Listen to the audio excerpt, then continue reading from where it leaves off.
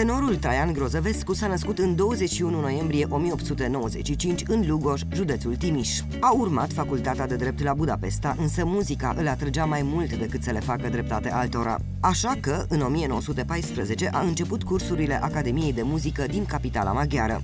După studii, Grozăvescu a plecat în război. Se spune că tenorul cânta în tranșee, iar lumea se oprea să îl asculte. S-ar putea să fie adevărat, însă la fel de bine s-ar putea să fie o legendă. În 1919, tenorul a debutat în Cluj, unde a obținut succes după succes. A devenit cap de afiș al operei din Cluj, iar talentul său l-a propulsat rapid pe marile scene ale lumii.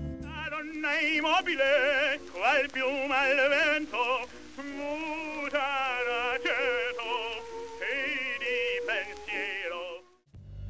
În 1923, Traian Grozăvescu s-a mutat în capitala Austriei, unde a uimit oamenii cu vocea sa pe scena operei din Viena. A ajuns atât de apreciat încât era considerat urmașul lui Enrico Caruso, unul dintre cei mai străluciți tenori din istoria operei și una dintre cele mai cunoscute personalități artistice ale timpului. Grozăvescu era iubit și apreciat. Lumea se înghesuia să-l vadă la spectacole, iar biletele se vindeau la prețuri mari. Sala era mereu plină, iar faima sa era mondială. Spunea Marian Doftoriu, profesor de istorie. Grozăvescu a cunoscut-o pe viitoarea lui soție într-un parc de distracții din Viena. Nelly i-a sucit mințile lui Grozăvescu, iar inima ei a fost furată de acesta, așa că s-au căsătorit fără să stea pe gânduri. Iubirea dintre ei a fost intensă, dar și plină de scandaluri, fiindcă Nelly era extrem de geloasă. Femeia era deranjată că soțul ei era atât de cunoscut și suporta cu greu admiratoarele care roiau în jurul lui. Când Traian Grozăvescu a fost invitat să susțină un concert în America și a refuzat să își asoția cu el, Nelly s-a supărat peste măsură.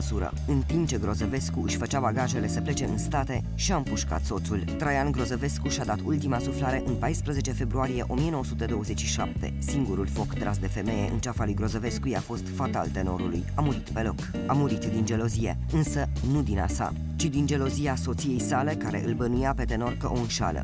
Traian Grozăvescu a fost îngropat în cimitirul ortodox din Lugoș, iar teatrul municipal din Lugoș poartă numele tenorului.